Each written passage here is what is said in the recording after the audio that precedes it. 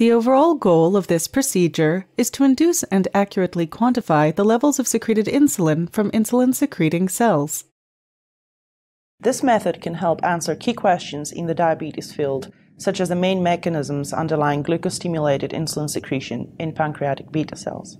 The main advantage of this technique is that it can accurately and rapidly quantify insulin secretion in response to glucose stimulation and detect potential drug effects on secretion.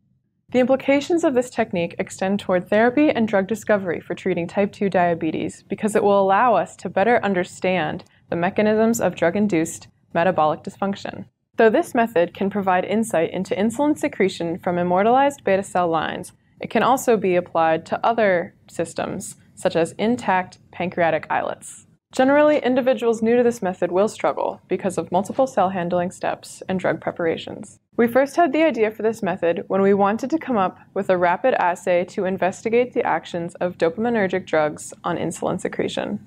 Visual demonstration of this method is critical, as the cell handling steps are difficult to learn because of the delicate nature of the cells and the importance of precision to ensure consistency of the assay between experiments. First, grow the INS1E cells as outlined in the text protocol. Once the cells reach the desired confluency, aspirate the medium. Wash the cells with 5 milliliters of phosphate buffered saline. Next, add 0.5 milliliters of 0.025% trypsin to the cells.